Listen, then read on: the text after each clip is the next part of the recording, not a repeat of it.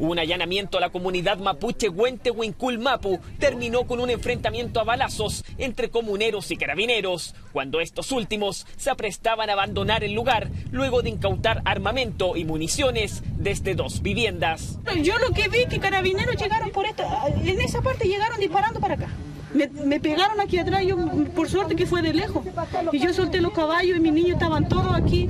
Y yo los tuve que ir a esconder a la casa de mi suegra. Y sí, yo sí vi un paco tirado ahí, pero no sé yo cómo se no sé con quién se dispararon porque yo no vi a nadie más.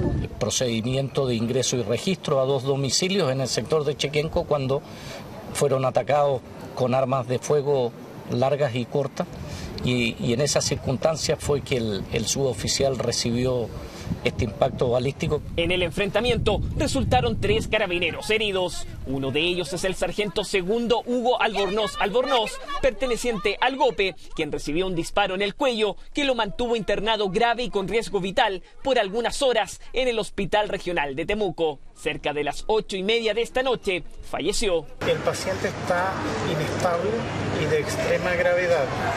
Las lesiones que tienen, eh, las lesiones que tienen en el tórax eh, son de las consideradas mortales. Es un milagro que hasta este minuto haya llegado vivo al hospital. El fiscal nacional Sabas Chaguán, junto al general director de carabineros Gustavo González, viajaron a la zona para brindar el apoyo necesario a la familia del sargento e iniciar las investigaciones para dar con los autores del ataque.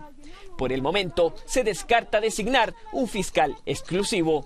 En este caso concreto hay tres personas detenidas. Creemos que lo preocupante en este caso es el, eh, uso de armas de fuego.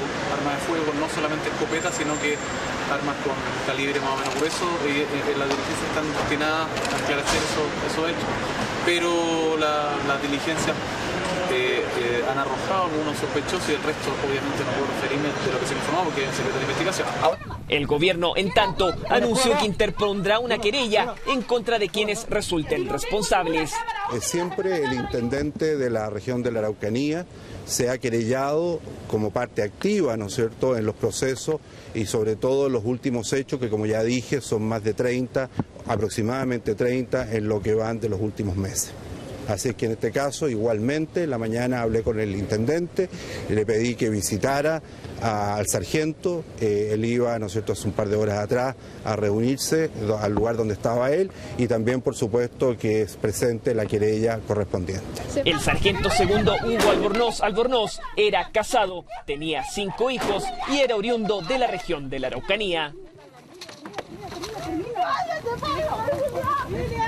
¡Váyate,